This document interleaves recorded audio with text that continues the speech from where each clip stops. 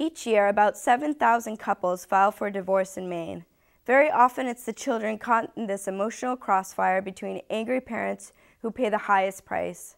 Peg Libby is the executive director of the Kids First Center, and she talked with Tom about the classes they offer for parents and children to help them through the process of divorce and separation.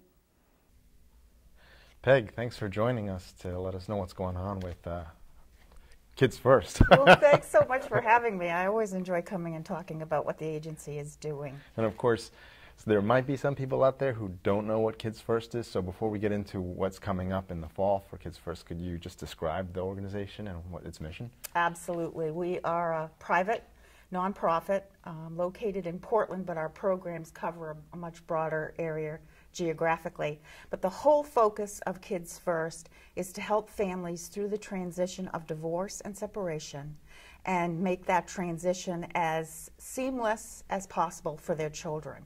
We also work with uh, blended families, step families as well because that sometimes is a difficult transition as well. But our whole mission is to try to keep kids out of the middle of divorce and separation. And I think one of the big things that you do is have support groups just for kids themselves, and there's a whole set of them coming up, isn't there? We do. In the fall, things get very busy, although they haven't slowed down that much this summer. But uh, all our divorce support groups for kids start up in the fall and they're all starting up about the third week of September. Uh, your listeners should know and your viewers that if you visit our website, you'll get all the current dates and times, and our website is kidsfirstcenter.org. Mm-hmm. But the groups are designed to give kids in grades 1 through 12, four different groups, but we work with kids in grades 1 through 12, a safe, neutral place to talk about what's happening in their family. Um, it's, it, they're great programs. They're led by mental health professionals. They're not counseling. It's a support group, and they meet for six consecutive weeks. Great.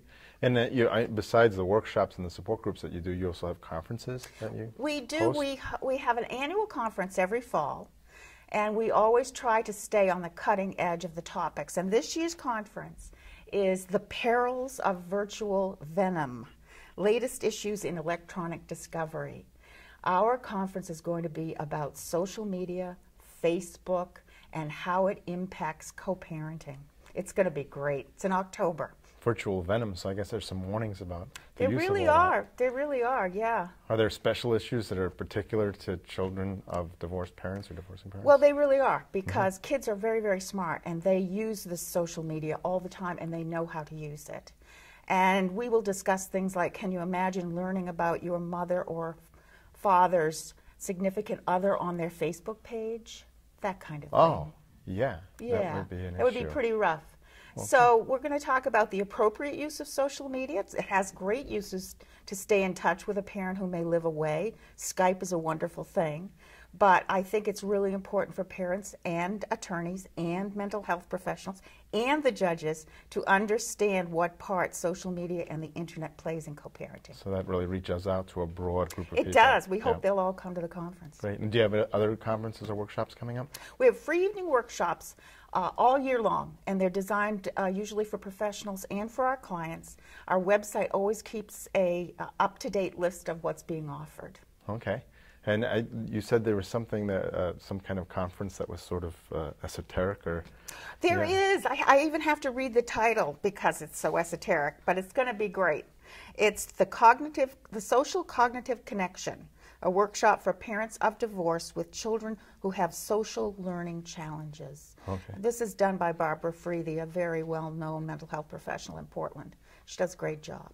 Yeah, so I guess people, if they don't quite get what that is all about, but they're intrigued by it, they could go and get them more information from your website, right? Yes, absolutely. There'll be a, a good, broad description of it on our website. Anything else happening that's coming up uh, either in the fall or later in the year? Well, you know, Tom, we, we rely on the generosity of our community. And one of the things for our conferences, we're always looking for corporate sponsors. And so that's what we're doing right now. And I'll tell you, to be aligned with an organization like Kids First is a win-win for everybody. Your programs uh, sometimes there's a fee for those programs, right? Right, right. But no one has ever refused service if they can't afford them.